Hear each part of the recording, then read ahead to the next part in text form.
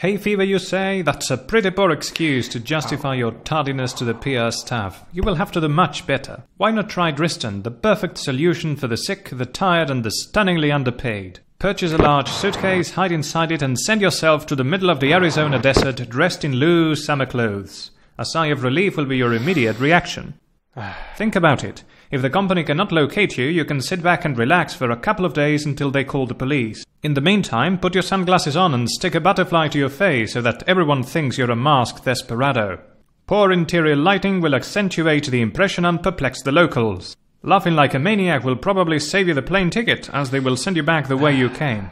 No need to call in sick and rub your temples while you Skype your company to request a severance package. You must have been well fired by now. Consider taking a cyanide capsule and putting your legs up before you board your flying suitcase to the land of floating, decongesting tablets.